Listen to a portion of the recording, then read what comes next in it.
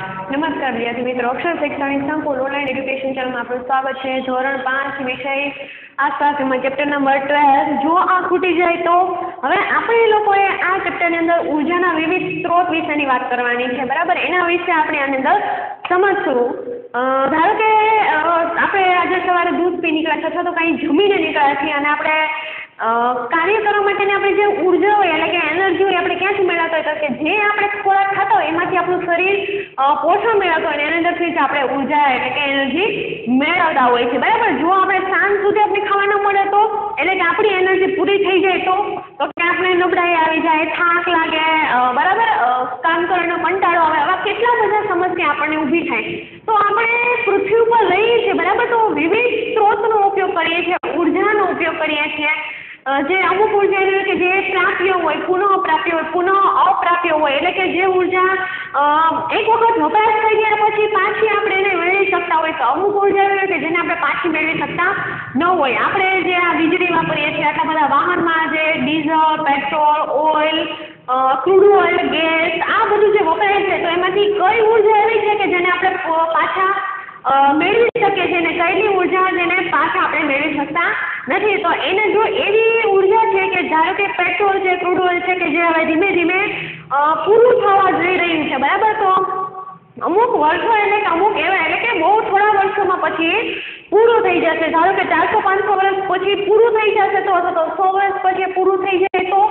તો આવનારી જે પેઢી માટે આપણે એના માટે ઉર્જાના જે વિવિધ સ્ત્રોતો ઊભા કરવા પડે, જેમ કે અત્યારે સૌર ઊર્જા સૌરમાંથી આપણે જે ઊર્જા મેળવવાને બહુ સારા એવા પ્રોજેક્ટ ગવર્મેન્ટ બહાર પાડે છે. બરાબર?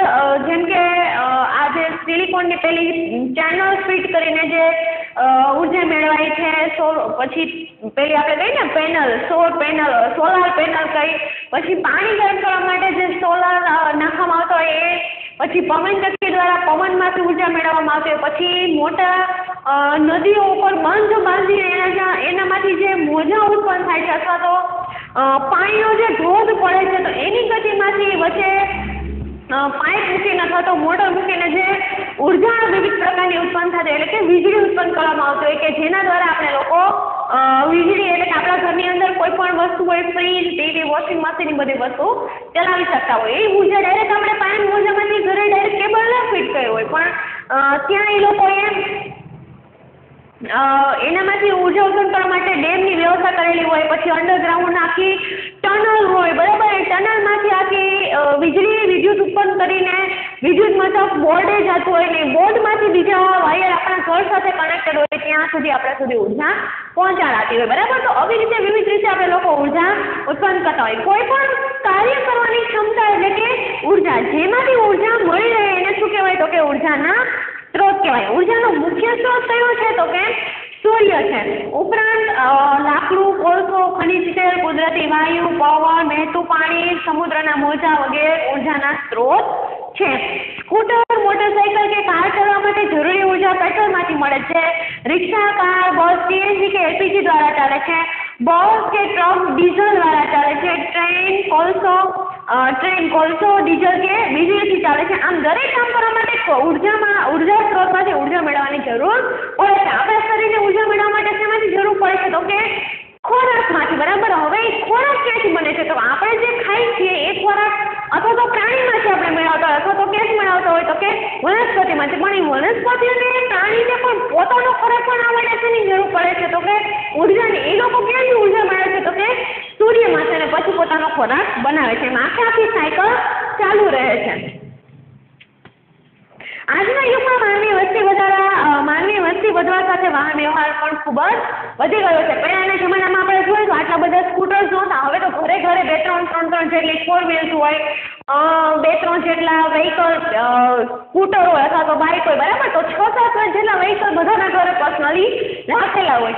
તો આ બધી વસ્તુ સાવ કોમન થતી જાય છે. પરિણામે વાહન વ્યવહાર એટલો બધો વધે છે તો જોઈતું બળતણ પેટ્રોલ, ડીઝલ અથવા તો ગેસ, તો એની ઉર્જાનો વપરાશ પણ વધવાનો.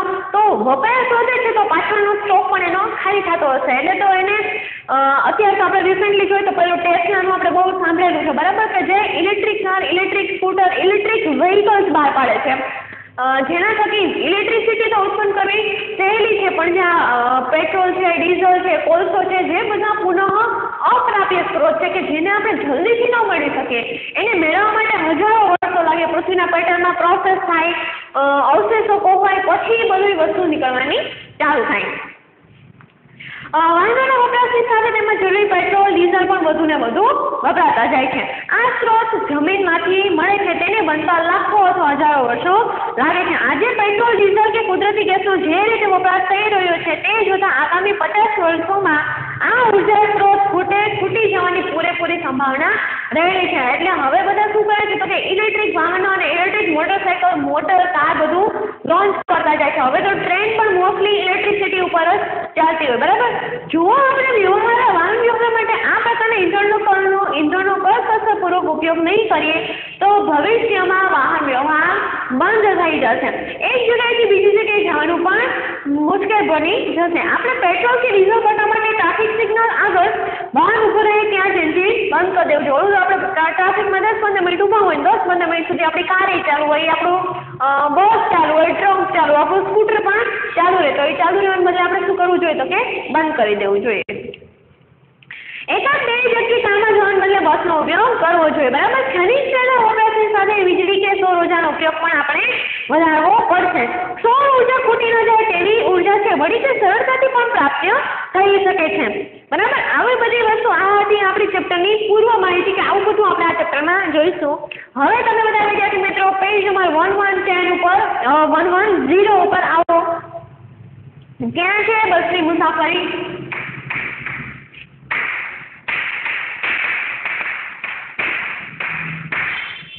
આજે અમે શાળામાંથી અડાલજની વાવ ઉજાણી જવાના ઉજાણી એટલે કે સેલિબ્રેશન માટે ત્યાં જવાના હતા. ક્યાં જવાના હતા તો કે અડાલજની માં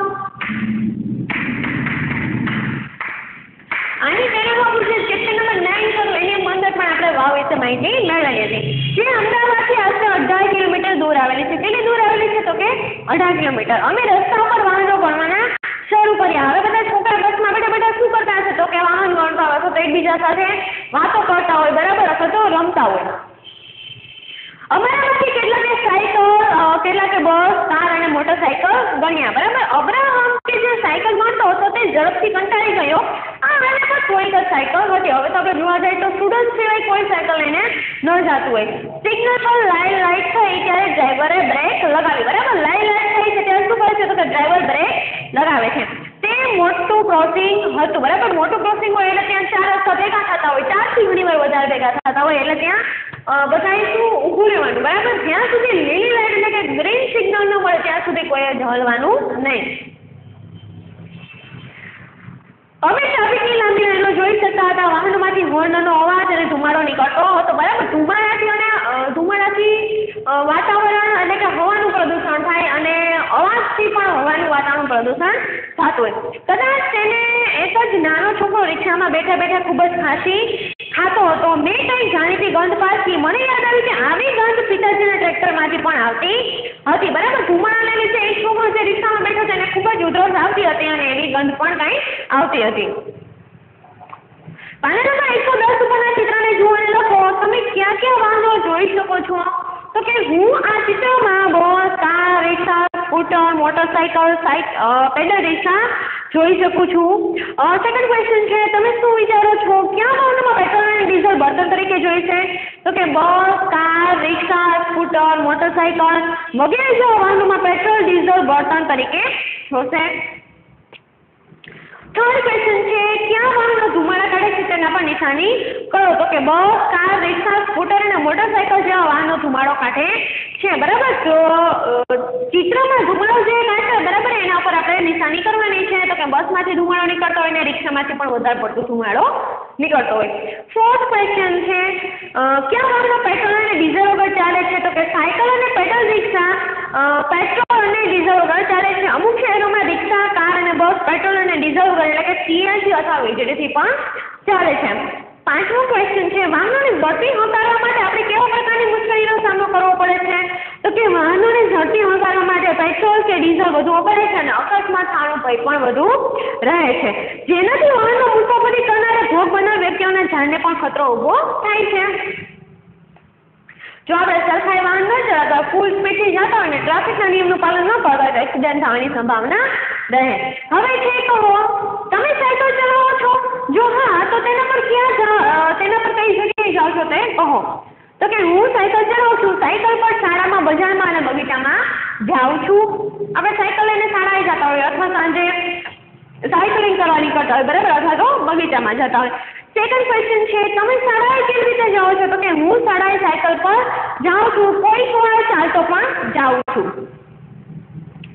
ત્રીજો ક્વેશ્ચન છે, તમારા કુટુંબના સભ્યો ઘરેથી કામે અને નોકરીએ કેવી રીતે જાય છે? તો કે મારા પપ્પા તેમની કારમાં મમ્મી તેમની કારમાં મમ્મી રિક્ષામાં અને કાકા કાકી મોટરસાઇકલ પર કામે, એટલે કે નોકરીએ જતા હોય છે. ફોર્થ ક્વેશ્ચન છે, વાહનોમાંથી આવતા ધુમાડાથી કેવી મુશ્કેલીઓ થાય છે? તો કે વાહનોમાંથી જે ધુમાડો નીકળે તો એ કાર્બન ડાયોક્સાઇડ વાળો આખો બ્લેક કલરનો ધુમાડો હોય. તો કે એનાથી ખાંસી, ઉધરસ થાય, માથાનો દુખાવો થાય, આંખમાં બળતરા થાય, અસ્થમા થાય ફેફસા સંબંધી રોગના ભોગ બનીએ હવામાં પ્રદૂષણ ફેલાય ધૂમડાથી ગુમડામણ થાય. શિયાળાની ઠંડીમાં સવારે ધુમા ધુમાડાને લીધે ખૂબ જ ધુમ્મસ જોવા મળે. બરાબર? દિલ્હીમાં આવું ઘણી વખત થાય કે એટલી બધી ધુમ્મસ હોય કે જે આઠ નવ વાગ્યા સુધી પણ ધુમ્મસ ઓછી ન થતી હોય. આથી થોડે દૂરનું દૂર સ્પષ્ટ ન દેખાને કારણે વાહન અકસ્માત પણ થાય છે. આ વાહનોમાંથી આવતા ધુમાડાથી ઘણી બધી મુશ્કેલીઓ પણ થાય છે. પાંચમો ક્વેશ્ચન છે, વાહનોના હોર્નના ઘોંઘાટ આપણે કેવી રીતે મુશ્કેલી અનુભવીએ છીએ કે મુશ્કેલીઓ થાય? તો કે માથું દુખે માનસિક તણાવ થાય, અણગમો પેદા થાય, કાનમાં ધાક પડી જાય. લાંબા સમય સુધી ઘોંઘાટમાં રહેવાથી બેરાત પણ આવે છે અને સ્વભાવ પણ એકદમ ચીડિયો થઈ જાય છે. રાત્રિના સમયે હોર્નના ઘોંઘાટની નજીક રહેતા લોકોની ઊંઘમાં પણ ખલેલ પહોંચે છે. આવા બધા આપણે સાઈડ ઇફેક્ટ બહુ જ ઘોંઘાટવાળી જગ્યામાં રહેવાથી થતા હોય છે. હવે છે પેટ્રોલ પંપ ઉપર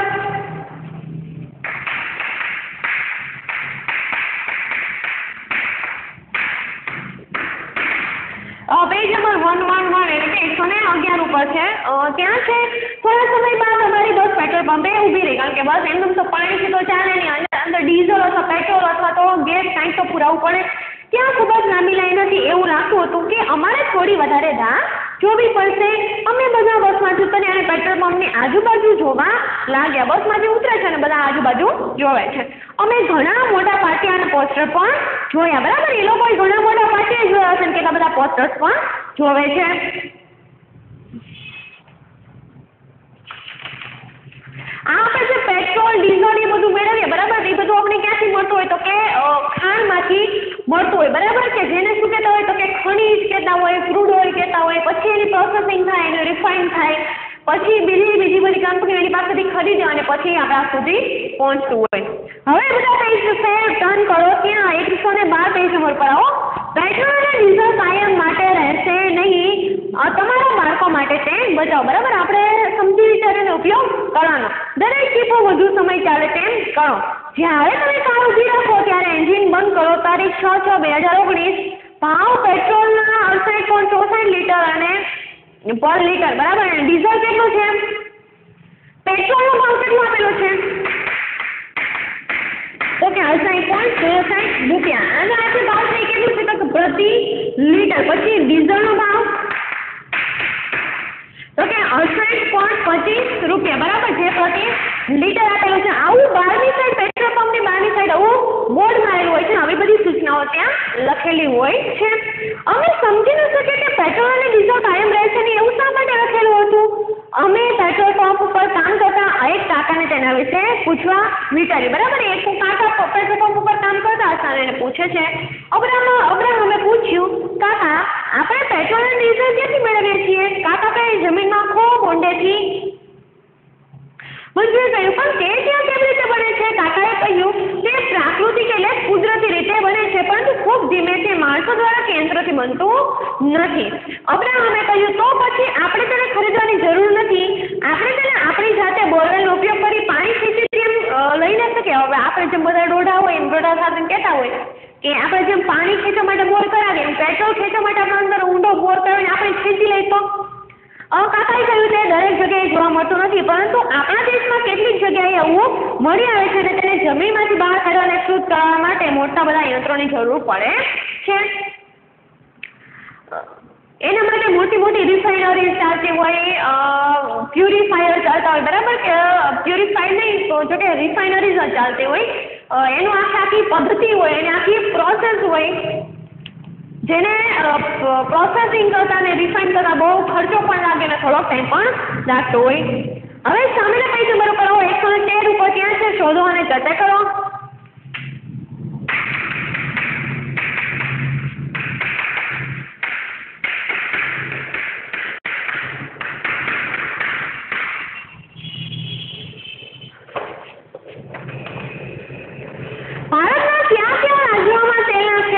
તો કે અસમ અરુણાચલ પ્રદેશ, પશ્ચિમ બંગાળ, ગુજરાત, મહારાષ્ટ્ર અને આંધ્રપ્રદેશમાં વગેરે જેવા રાજ્યોમાં તેલના ક્ષેત્રો આવેલા છે.